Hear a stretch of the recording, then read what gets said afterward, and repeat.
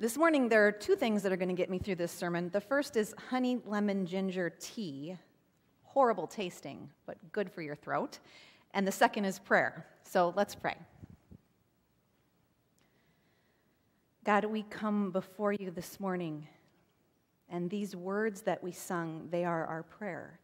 Revive us again, each and every day, as we wake to a brand new day. Revive us again that we may be shining examples of your love. And the way that happens is when this word, your word, takes root deep in our lives. And so may that be the truth this morning that we hear your words and we become the people more and more that you have created us to be.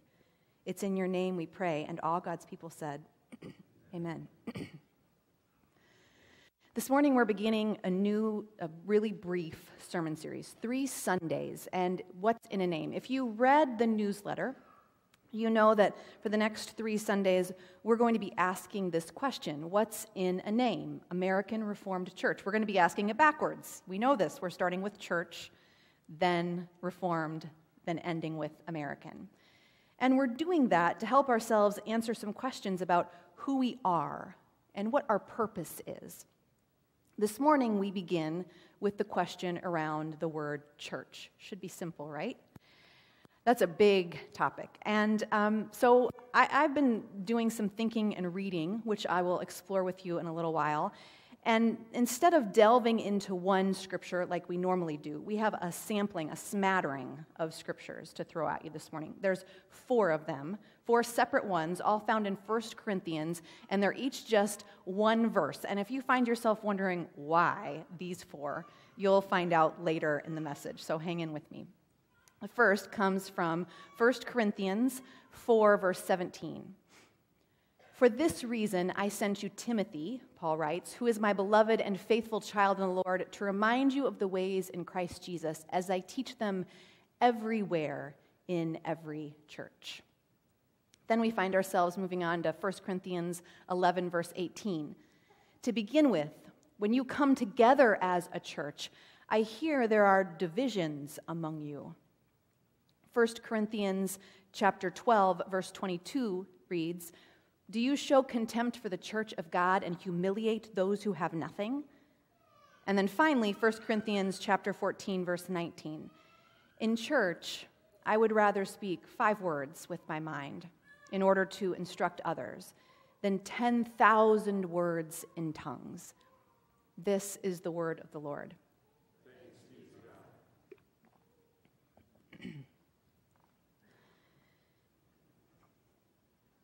Here is the church. Here is the steeple. Open the doors, see all the people. We sat on well worn olive green carpeting in the church basement with rapt attention focused on Ms. Van Hemert as she did this, this magic with her hands. It's no small task to command such a wiggly, waggly group of preschoolers, three and four year olds, but there we sat, mesmerized by the way she made her hands uh, change shape with the cadence of the rhyme. Then she sat patiently as we each attempted to, to make our own little hands coordinate and mimic hers. And pretty soon we were all able to say together, Here is the church, here is the steeple. Open the doors and see all the people. Fast forward roughly 17 years. The, the well worn green olive carpeting has been exchanged for a concrete floor the church basement replaced with an auditorium, the preschool crowd replaced with 18 to 21, 22 year old college students, and instead of Ms. Van Hemert in front, a worship band crowns the stage. I remember practically nothing about the conference and the speakers, except for one in particular who began with those familiar words that I heard so long ago come from Miss Van Hemert's mouth. And then he followed that rhyme with these words That catchy sentiment you may have learned long ago is wrong. The church isn't a place, it's a people. It should really go something like this Here is the building, here is the steeple, open the doors. The church is the people. Place, people. That's not the first debate to take shape over the identity of the church. I've listened to passionate followers of Jesus argue also that the word church should only be used to describe the global group of believers, and local gatherings like ours should only be called congregations or communities. And perhaps you've noticed in the last few decades churches changing their names to call themselves communities instead of churches. Global or local is the debate. Others say the true church is truly everyone in every time, living or dead, visible or invisible. To use the word church to describe what we can see discounts the true nature of the church, invisible or visible. These books here, there's a chunk of them. These books are found within their words the debates, the arguments and after reading the great minds of oh, Shirley Guthrie, Barbara Brown Taylor, Frederick Buechner, Daniel Migliore, Anne Lamott. After reading these great minds, and yes, I read all these books in the last two weeks, some of them I reread a second time because this is the kind of stuff that your pastor geeks out over. But after reading these words about the arguments of place or people, visible or invisible, global or local, I had more questions than answers, more confusion than clarity. So I opened Imagine That, this book, the Bible. And I read every single paragraph, sentence, phrase that has the word church in it. 116 different times. The word church is actually, in our English translations, is actually ecclesia in the Greek. It means assembly, community, meeting called together. Like I said, it's used 116 times in the New Testament exclusively, and mostly by the writings of Paul. And here's what became blaringly clear church is visible and invisible local and global, place and people. That's right. In the writings of the New Testament, our spiritual ancestors of faith were as diverse and varied in their use of the word church as we are today. And there is no better example of this than the letter Paul wrote to the believers in the town of Corinth. We know it as 1 Corinthians. And Paul speaks specifically of the ecclesia, the church, 22 times, more than any other book in the New Testament. So we use that random smattering of verses this morning, as I said, not to delve deeply into them as we usually do, but rather as a sample, an example of the diverse ways in which Paul speaks of the nature of the church and the diverse ways that he writes of the ecclesia. He writes it as glo- global and visible. Do you show contempt for the church of God, like Laura so beautifully showed us, and humiliate those who have nothing? Or, for this reason, I sent you Timothy, who is my beloved and faithful child in the Lord, to remind you of the ways in which Christ Jesus as I teach them everywhere in every single church, both local and visible, Paul is saying. And then Paul writes this in church, a place in church. I would rather speak five words with my mind in order to instruct others than 10,000 words in tongues. And lastly, Paul says to begin with, when you come together, you people come together as the church, I hear there are divisions among you. Out of the 22, these four speak of the church globally, locally, invisibly, visibly, place, and people. All of those covered in four verses. Rather than narrow down the way in which we understand and describe the church, Paul broadens expands, allows for the church to rise above our own debates. Now, we can't spend our own time unpacking each of these debates and verses. If we did that, we'd be here for days rather than the like 55, 60 minutes that I plan on preaching this morning. So, we're going to hone in our debate a little bit. We're going to hone it in and think about that rhyme I started with place or people. Paul has diverse ways of speaking about the church. But one thing is clear Paul reminds us that Ms. Van Hemert was actually right to teach us the words of that rhyme so long ago. Here is the church, the building.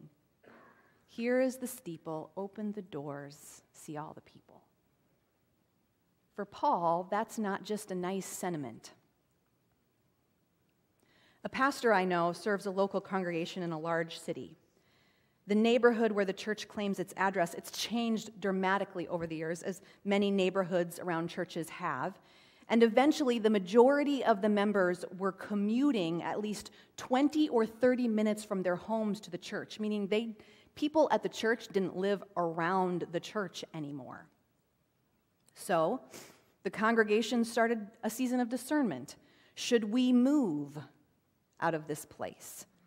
They began the conversation with one another. Should we move to the suburbs? Where should we move? What would be the best place? And during this season of discernment, a local neighborhood resident who didn't attend the church came by to see the pastor. He had experienced a family tragedy, and he said to the pastor, The only thing I could think of was that I needed to find God. So I came to the closest church. God's people have always longed for a place to find God, so to speak. Not too long after the people of God, way back in the Old Testament, left slavery in Egypt and they began their wandering, told to us in Exodus, God, did you know this, gave them a specific place to gather and worship the tabernacle, the tent of meeting. This eventually turned into the permanent structure of the temple. And even when they were exiled later and they longed for a place, they built smaller places of worship to gather until they could return once again to the temple. So it's no surprise that the first Christ followers, who were also Jews, first joined together in worship at the temple before places and locations became necessary to avoid tension between traditional Jews and Christ following Jews. And so Paul speaks frequently of these other locations and places throughout his writing. He speaks of Aquila, and Priscilla's house, which was a church. And Gaius' house hosted a church. And Nympha's house was a place of worship. Even the emperor's house became a church. And then Paul speaks about what is done in the physical church. In church, I would rather speak five words in my mind than 10,000 words in tongues, he writes. Now, it's true that they didn't build buildings specifically like this, but they had locations and they had places that they always met and called churches.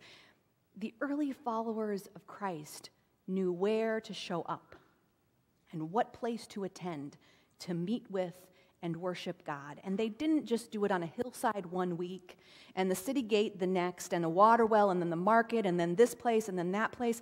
Just like their great, great, great, great, great, great grandparents found God in the tent of meeting and the temple long before them. They had places and locations to point people to meet together in the presence of God. One of my truly favorite authors, she's in this stack here, Anne Lamott. She tells a story of how she found her church, or maybe rather how the church found her. And it was all about location, place, address.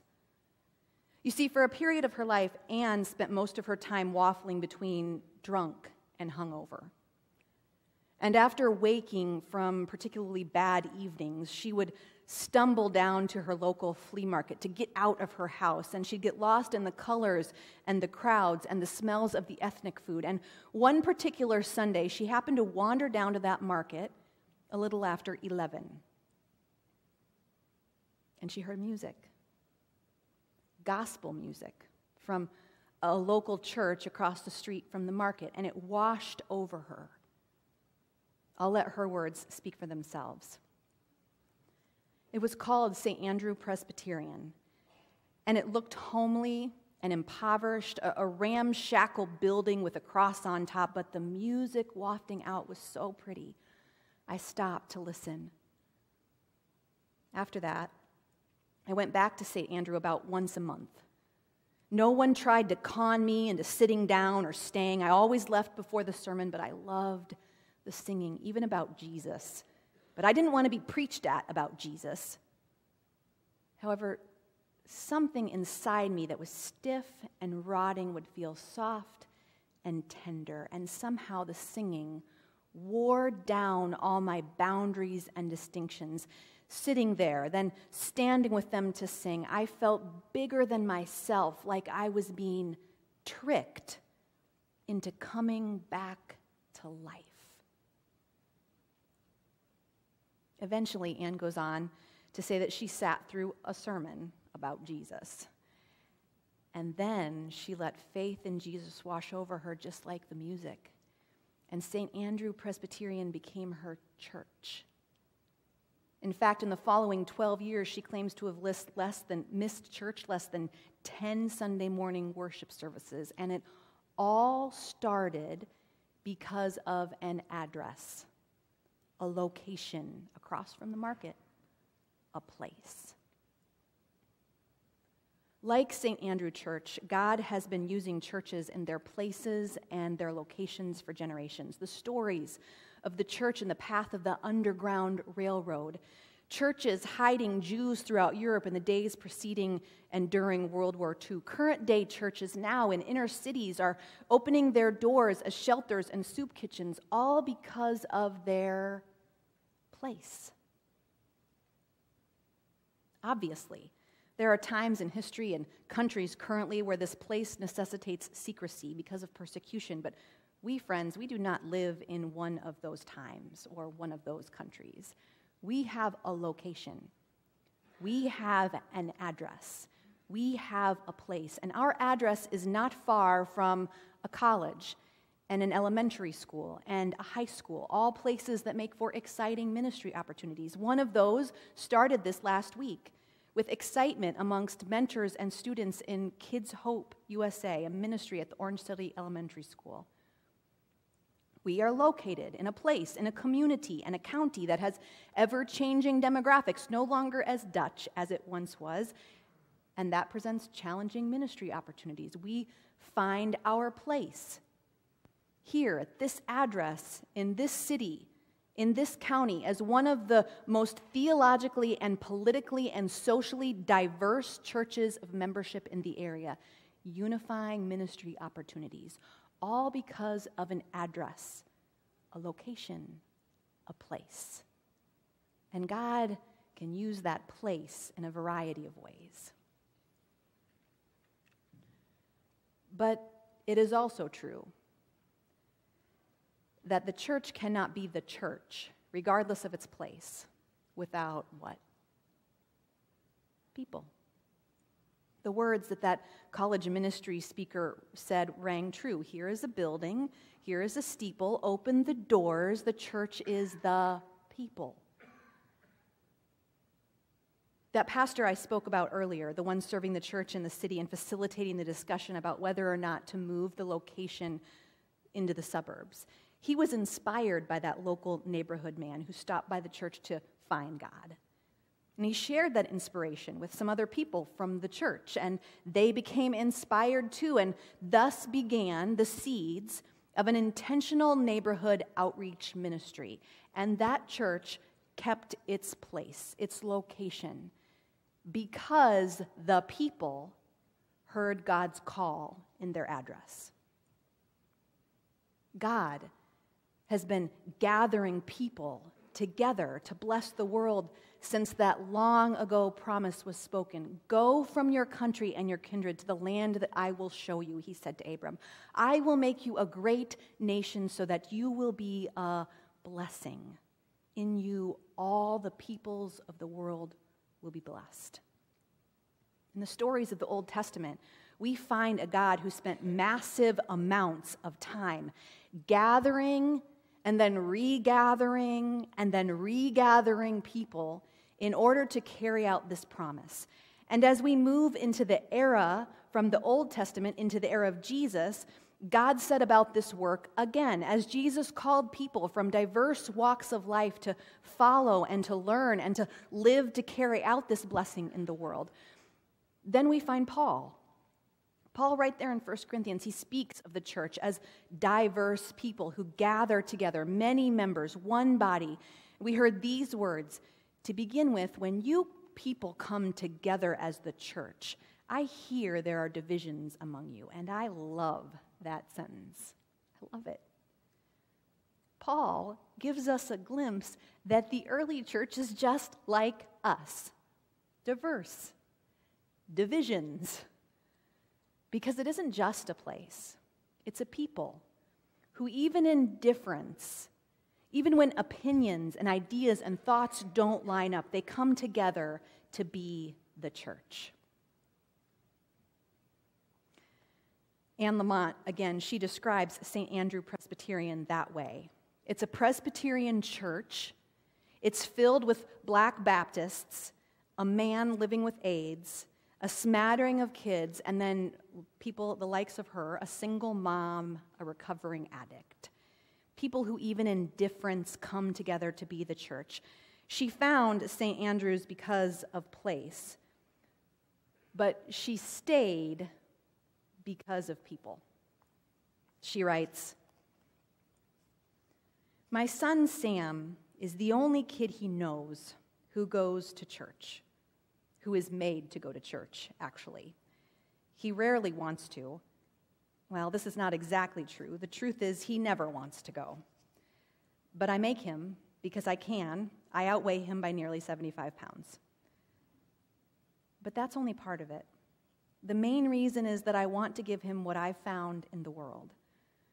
Our funky little church is filled with people who are different but working for peace and freedom, who are out there in the streets and inside praying. They are writing letters. They are at shelters with giant platters of food. And when I was at the end of my rope, the people at St. Andrew tied a knot in it for me and helped me hold on. The church became my home in the old meaning of home that it's where when you show up, they have to let you in. Well, they let me in. And they even said, You come back now, you hear. In one of these books, one of these other books, Barbara Brown Taylor writes that the church is a group of people who takes turns filling in for Jesus, understanding that none of us is equal to the task which all of us are called. People. But then Brown Taylor continues with the reminder that the church is more than just people. She writes By offering God's people a place where they may engage the steady practice of listening to divine words and celebrating divine sacraments, church can help people gain a feel for how God shows up, not just in that place, but also in neighbors and mysterious strangers and more. That way, when they leave the place of the church, they mo- no more leave God than God leaves them. The church it's both place and people. It is local and global. It is visible and invisible. And whatever it is place, people, local, global, visible, invisible it is the task that remains the same. We're standing in, all of us, for Jesus. What's in a name? When we claim this name, church, we claim that we are a people, but we claim also that we are located at a place 407 Albany Southeast in Orange City, Iowa. So perhaps that old rhyme could go something like this Here is the church. Here is the steeple. Open the doors, the churches, the people. And all God's people said, Amen. Indeed, O oh God, we are thankful for the words that remind us that sometimes we get so caught up in debates that we forget to see your breadth and depth, the wideness and the broadness of your story and your call in our lives. This morning, we claim boldly this place that you have put us in this building at this location with this address, a place that is so close to a variety of groups and people and diversity that we can be a part of, that we can minister to. And so help us be a people who stand up and claim that place, open to the possibilities that this place has for us. It's in your name we pray, and all God's people said, Amen.